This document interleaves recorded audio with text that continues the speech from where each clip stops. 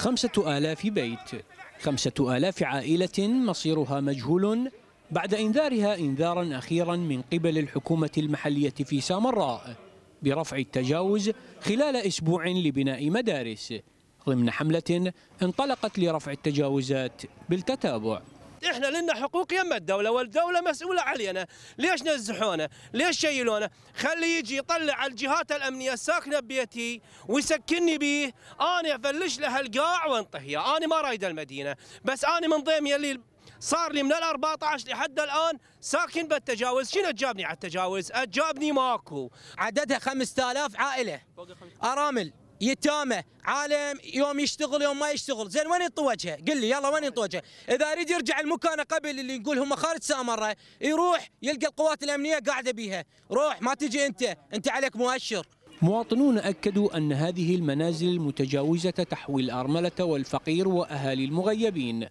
مطالبين بإيجاد حل لهم.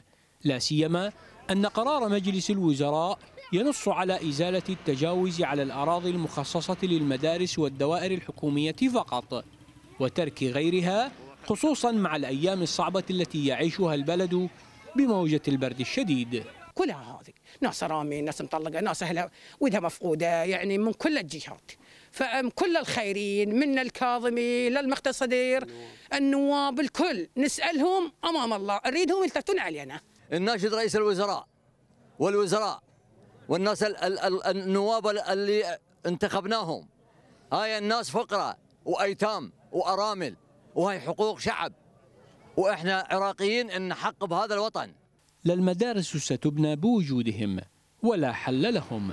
وبين هذا وذاك يبقى الخاسر الوحيد الفقير المعدم الذي ما زال يبحث عن سقف يحمي عائلته من برد الشتاء وحر الصيف. والأمل بإيجاد حل لهم للخلاص مما هم فيه فهل سيحدث هذا فعلا؟ من سامراء عبد المنعم الويسي قناة الفلوجة